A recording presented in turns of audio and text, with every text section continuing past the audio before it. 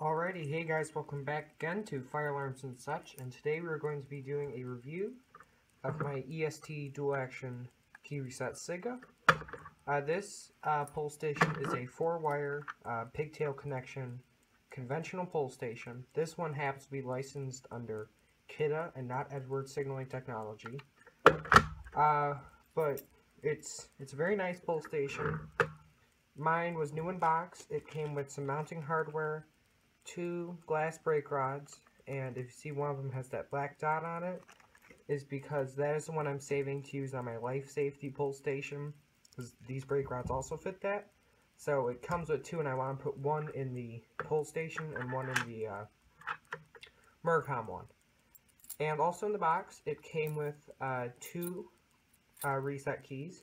These ones are EST Cat 45 keys, and on these keys, they're etched into fire alarm, so if like you're the custodian of the building and you have the key, uh, you can find it easier because it actually says fire alarm on the key.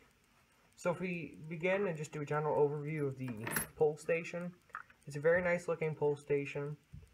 Uh, so just on the front, you see you have your lift and then pole for fire, and the Kidde branding on the bottom, and it's kind of reflective and it's all plastic all around except for the back.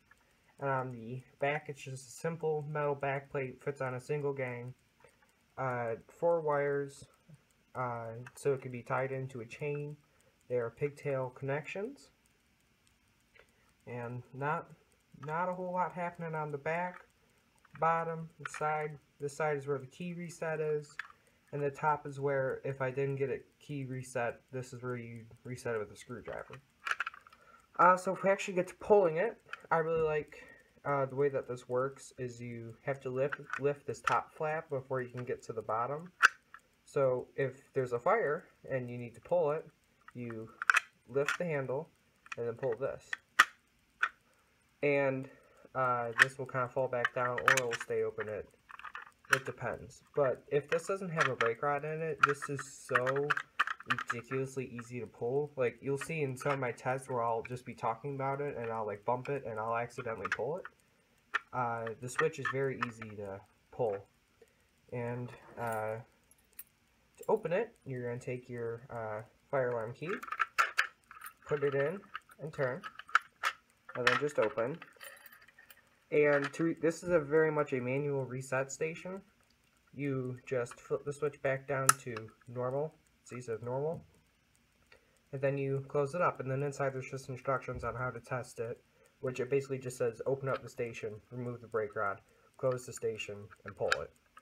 And uh, over here is just some warning and uh, other instructions. But, so, the break rod, you can kind of see it says uh, glass rod right there you put it in right in this ridge, so when you go to pull it, the ridge moves back, and that's what actually breaks the break rod. So when you want to go to reset this, you switch to switch down to normal, and then you go to close the pull station, but not all the way. And then you lift up the top flap, push in the bottom, and close the top again. And then you can close, unlock, and then you reset to ready and lift and pull. So this pull station is kind of a hassle to uh, reset. It's not as simple as like the simplex is something everything just bounces back up. You gotta flip the switch. It's kind of hard to do uh, while it's not on the board. Close, close, close. And if you want to go to test the station, you can either, if there's no break rod, just pull it or open it up take out the break rod, close it and pull, or just open it up and hit the switch. And then when you're done, you just push it back down. So that's basically my general overview of the EST SIGA pull station. And I say that we go and put it up on the board and we'll hook it up to some alarms and we'll try it then. So, let's go.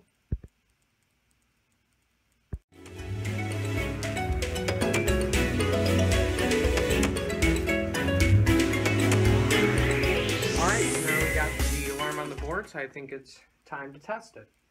So we'll get the uh, CAT 45 fire alarm key ready on my key ring. And so to pull this, like I already mentioned, you lift this and then you pull the tab.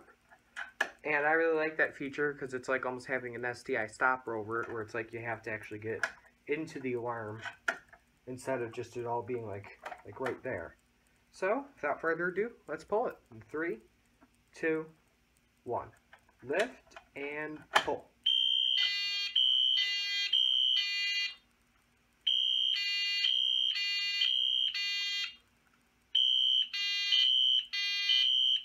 And then to reset it, you put your key in, turn, and turn off the switch.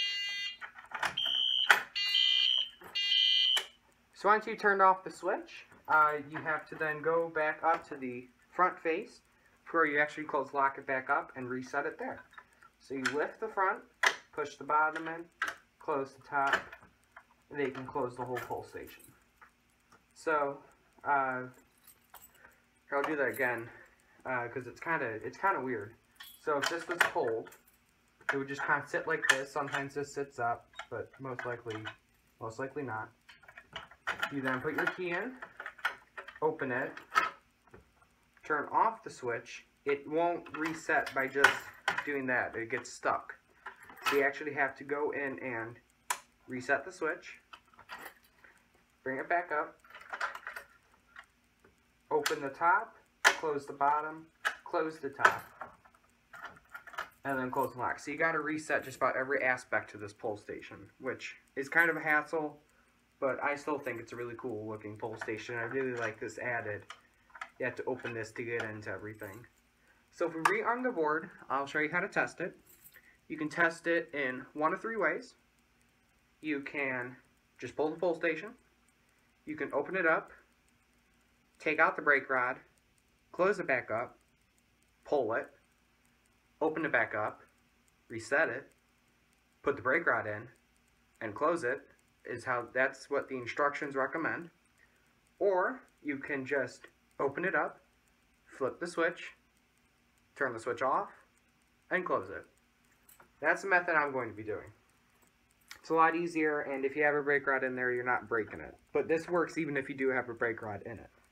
So you put your key in, and you open it, and then you can just go right to the switch and flip it in three, two, one.